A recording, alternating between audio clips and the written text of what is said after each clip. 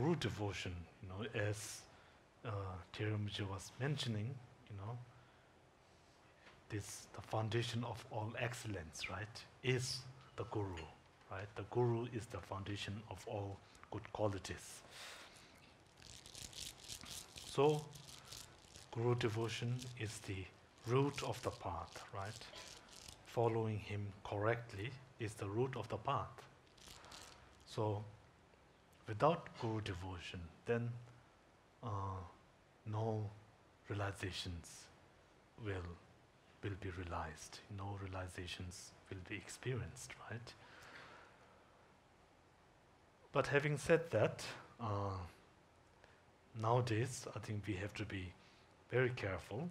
Sometimes, um, as someone who is, you know, sitting on this throne, and then sort of facing the audience and talking, if if I'm not careful, if I emphasize guru devotion, then it might come off as sort of saying, I'm the guru, you have to be devoted to me. You know, there is that risk. So I think we all have to be very careful when it comes to the subject of guru devotion, right?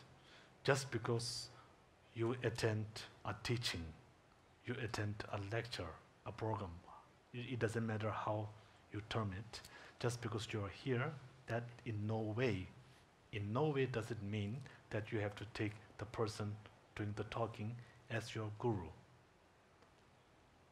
It is entirely up to the student, you know.